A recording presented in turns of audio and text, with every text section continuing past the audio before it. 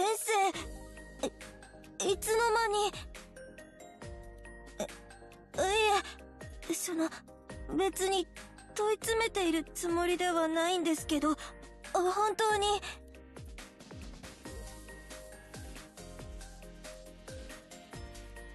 あれなんだか前にも似たようなことがあったような。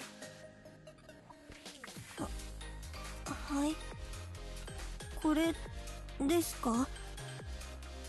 門松ですが。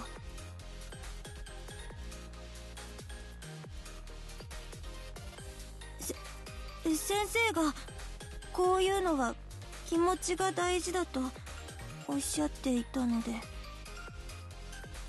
それなら、ずっと育ててきたこの子がいいのかな、と。ま、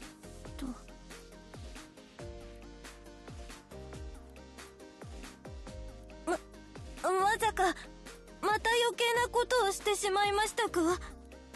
すみません、すみません、すみません、すみません、すみません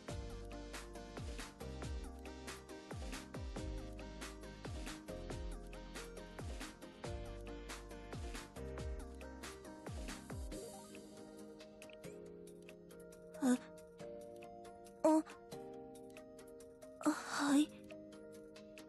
ほ。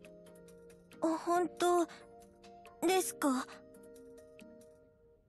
大丈夫でしょうか？